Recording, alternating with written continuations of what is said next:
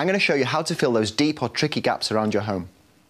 For this job, we're going to need some Polycell expanding foam Polyfilla, Polycell one fill Polyfilla, two different kinds of filling knives, one old, one new, some thick gloves, some masking tape, safety glasses, some sandpaper, a dust sheet, some household water spray, and a long sleeve top. Before you start, make sure you've covered the floor with a dust sheet and that you've taped it to the wall below the hole. Put on your safety glasses and your gloves. And make sure you open any doors and windows to keep the room well ventilated as you work. Now in total, this job should take about 20 minutes, excluding drying times. First, make sure the hole is free from any dust, loose plaster or grease.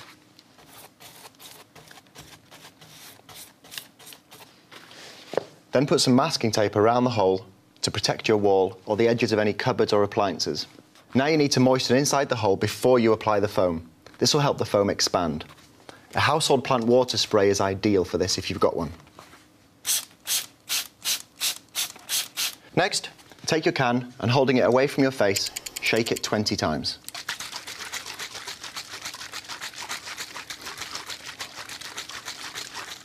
Then, screw on your applicator nozzle.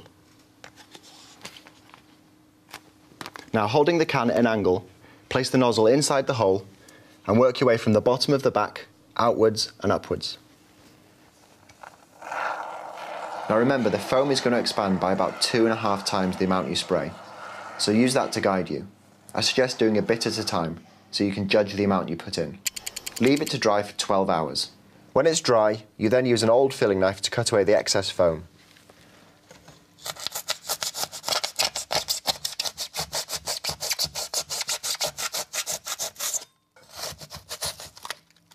Then sand it down.